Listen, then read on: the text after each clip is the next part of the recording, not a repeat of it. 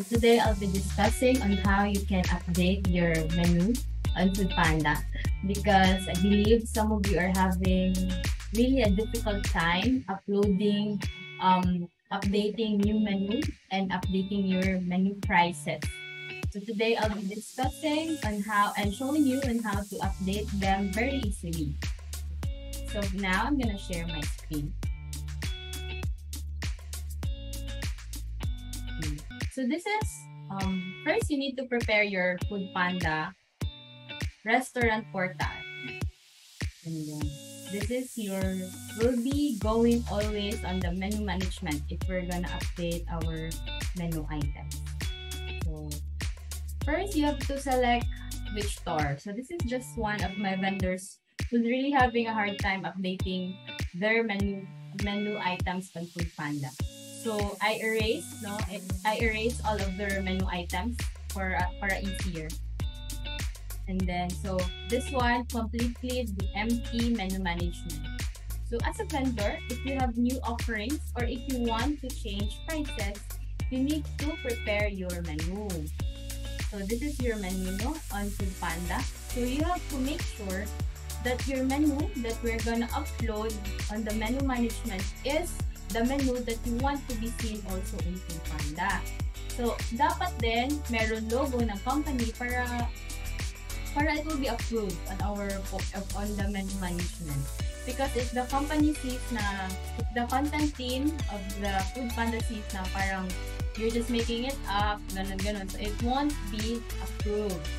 So, again, I would just like to highlight na the menu that you're gonna prepare must be also the menu that you want to be seen on your Food Panda store. So, ito yung menu items and then also including the price. So, kung ano yung price na you want to appear on the Food Panda app, dapat yun din yung, yung price na piniprepare ninyo for the menu. So, you have to also make sure na the menu must be on JPEG.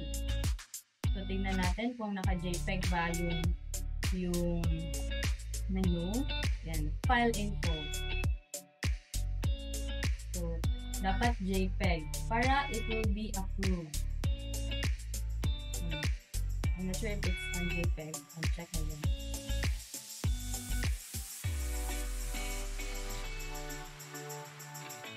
Ah. Ayan, naka-JPEG. So, dapat naka-JPEG. If hindi naman naka-JPEG yung menu nyo, you can use PowerPoint. Very easy. Insert the menu na nagawa nyo. And then, hindi, hanapan na. Insert siya. Ayan. Insert nyo here. And then, ano lang, save nyo lang siya as JPEG. File, save as. Tapos, browse desktop. Save to desktop.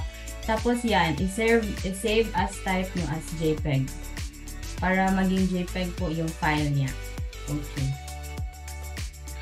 So, so in this video, I'm gonna show you kung paano mag-add ng new item on Foodpanda.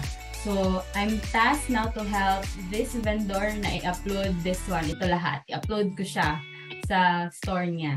So, um, let's start. So, yung una is, so again, Food Panda vendors, um, yung na-observe ko is, um, dapat talaga, you need to prepare a menu. So, para ma-approve yung, yung ano nyo, yung changes nyo. Um, it, it includes change in price and change in and add menu. Dapat ganito na menu. JPEG, may logo ng store, and clear po kung ano po yung items para ma-approve siya within 1 to 2 days. Hmm. Hmm. Pinaliit ko lang siya para mabilis ako. So, nasa menu management tayo, add item, and then, so, um, you can also make categories, pero ka, sa, for this menu, isa lang. Wala siyang category, category. Diretso lang ako. So, pork belly price 200. So, as you can see, 200 po and then dapat 200 po yung then yung menu na ginawa nyo para ma ano siya, ma-approve. Ayan, 200. If you have also description of it, much better. And then, saka na yung, saka na po yung dish photo. Dish photo is yung picture ng pork belly. Saka na lang siya pag na-approve na siya. And then, click publish. Yan.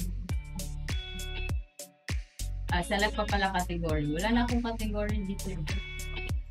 Meron ba category? Wala naman category. Share on page. Sige. Gawa na lang tayo ng category muna. Kasi nag-error siya. Ayaw niya. Naghahanap siya ng category.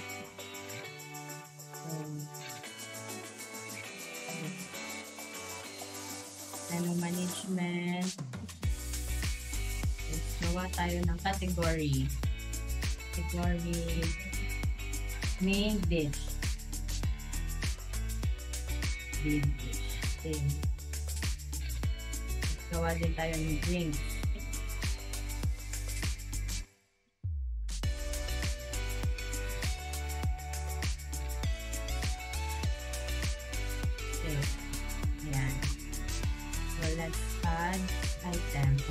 So, paggawa nyo, sa- pag, upon making the category, it will appear here na. So, pork belly. Okay. Okay. Ayan. And you click, click publish and then upload new dine-in menu. Upload natin yung menu natin na ginawa natin. This one. Ayan. Ayan o. Okay. It will be submitted 24 to 48 hours to be approved. And then, proceed lang tayo sa other items. Palitan ko lang ha, para I can see. Next is chicken barbecue. So, mas maganda din na you specify, for example, chicken barbecue, which part, ganun, may mga ganun. Para it's easier for the customer to see or identify what are you really offering. Price, 150. Again, dapat yung price niya dito, same price ng menu na i-submit para ma-approve. And then, dapat yung name niya, dapat ganito din yung name niya. Click publish. So, since may na-upload na tayo na dine-in menu, pwede na lang ito, select dine-in menu you uploaded before. So, yan. Appear na yung first menu na sinabit na. Done. So, add na lang tayo. Pork barbecue. So, more or less, it is just one piece. So, lagyan ninyo ng description para ma-identify then ni customer.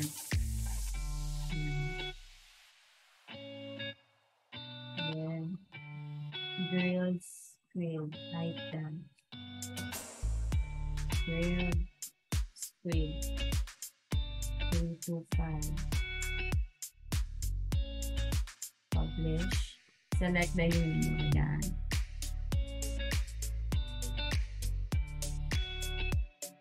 Balbacoa. 200. So, after ko nito, I'll show you ano, another video pag if you want to change price. Whichever. Finish. This good. Is 300.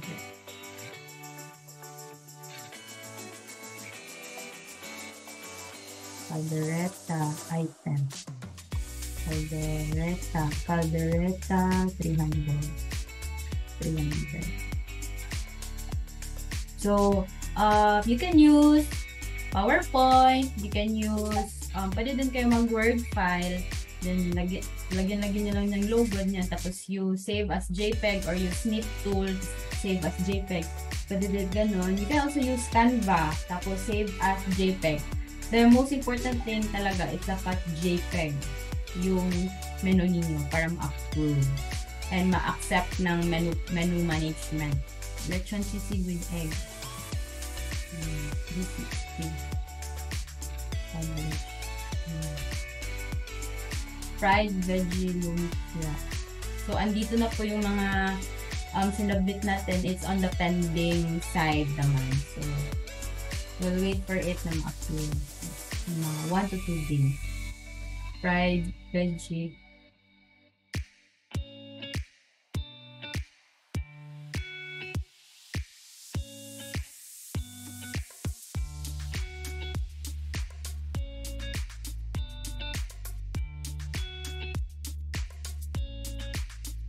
lechon bulacan.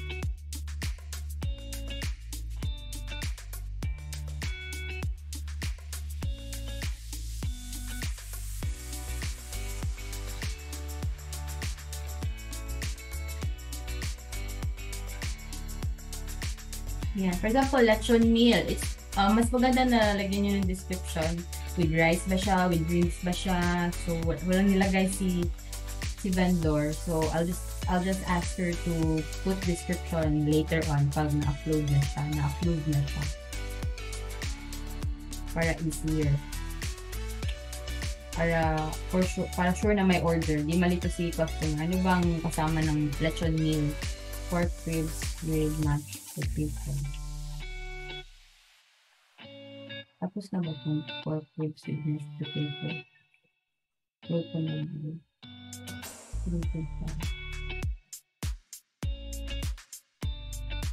Rice. Ah. Rice. Ah. Plain rice. One cup.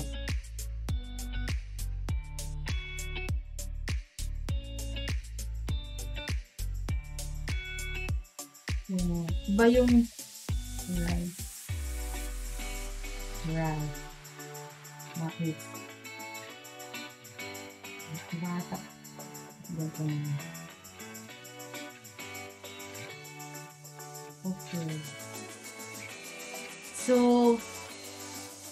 in here, yung soft drinks ni vendor, meron siyang Coke, Sprite, Royal Coke Zero in can. So, mas maganda na gawin nyo talaga siyang, i-upload nyo siya one item para if maubusan si Coke, you can mark items unavailable. Kasi pag ginawa nyo siyang choice group, yung Coke, Rice, Royal, and Coke Zero, hindi siya ma-unavailable ni, ni vendor. So, dapat upload it one by one. Coke in can. Coke regular ata yan. In can. 75, that's choose category. Hmm. Maghanap ulit ng menu. Ay, dahil makit ko. Okay. Try 25. 3. 25.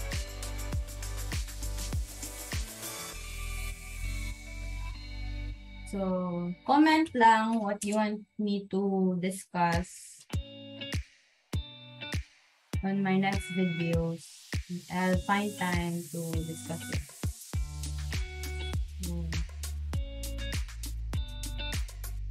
Again, I'm making this video for my vendors na who are really having a hard time updating um, their menu on Food Panda. So it's very easy.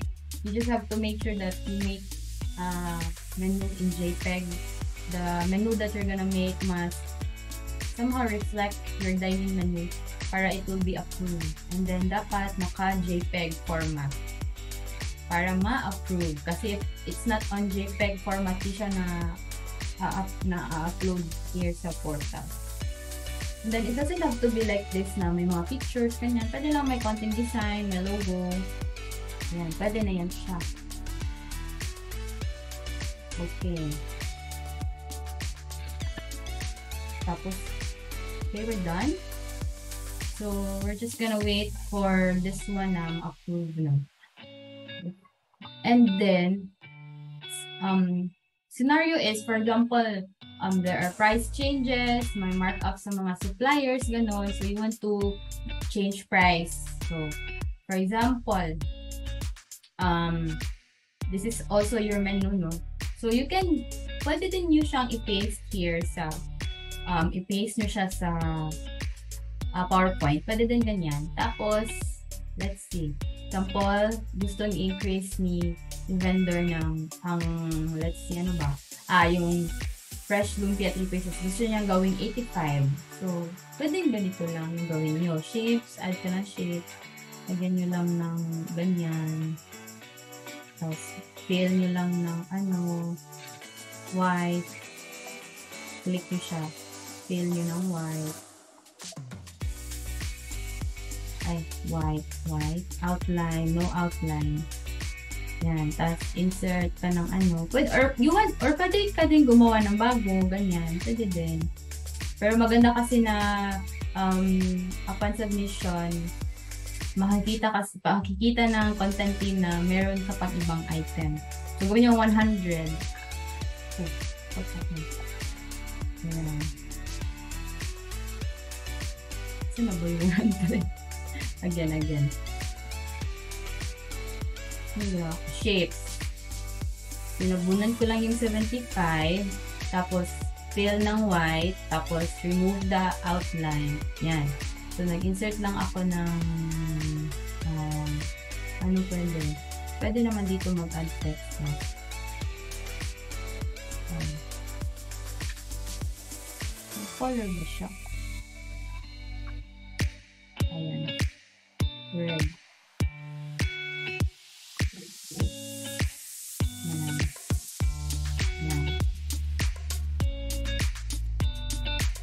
Medyo big. Ayan.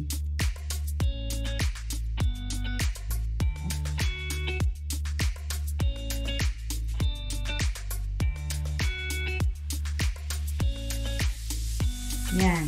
Pwede ganyan. So, you can save as. Pwede kang mag-save as. Browse. Desktop. Then, uh, JPEG. Just this one. So, 100 na yung fried veggie lumpia. So, um, for example, na-upload na yung ginawa natin. Punta lang tayo sa punta lang tayo sa store ni vendor. Ayan. So, yan. Approve na. Ang bilis. So, for example, na-approve na-approve na saan fried lumpia?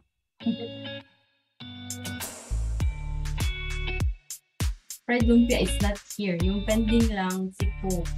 So, so, so, let's do it again, the fried veggie lumpia. Bilis lang.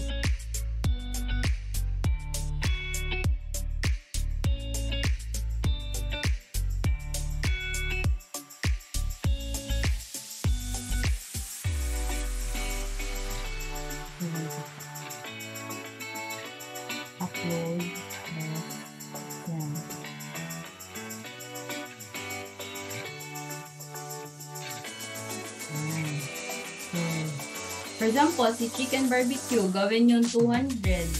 You want to change to 200. So, edit nyo lang na maging 200 si chicken barbecue. Kapag yan, gawin yung 200. Yan, you want to 200. Then, save nyo lang again. And then, when you change your 200, when you click publish, hanapin nyo lang yung menu na nag na clearly states na 200 yung chicken barbecue.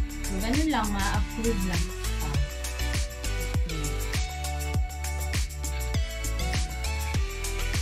Hope you learned something new on your menu management. There are also tutorials in the university on how to change pictures, how to read your invoices, and all. So, please like, subscribe, and comment some ideas on what you want me to discuss on my next video. Bye-bye!